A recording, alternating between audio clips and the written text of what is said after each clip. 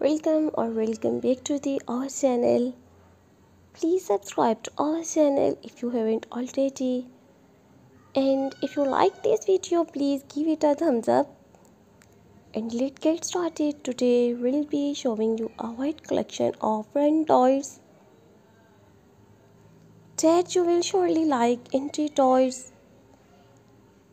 must be tough enough to withstand wind, rains, occasions, and a will be intruders, yet cool enough to make a good first impression. Unfortunately, meeting those need is still at all order for many front doors. Most older ones are made of wood or wood veneer, both of which rip and crack after years of exposure to the elements we mentioned before. Metal door don't last forever either. The surface on some older steel doors can peel.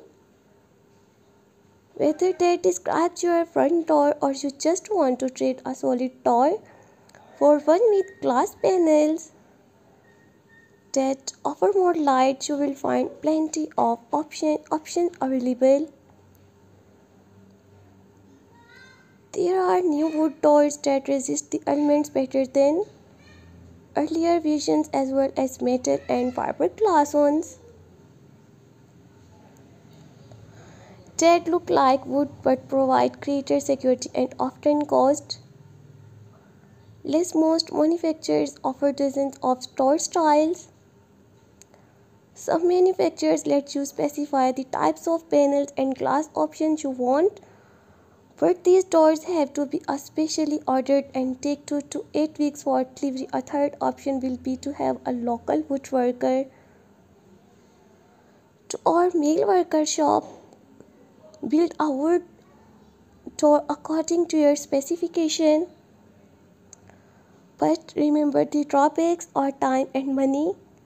Perhaps the most important decision is what your door is made of most conventional material. For example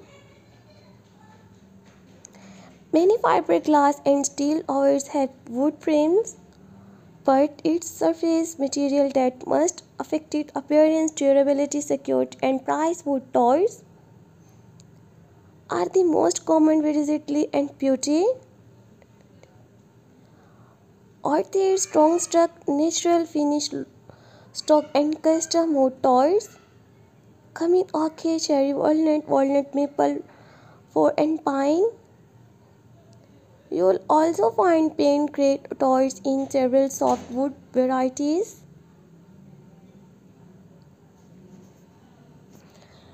such as fine and western hemlock when shopping for pre-finished wood toys. Look for durable, stain and clear finishes. So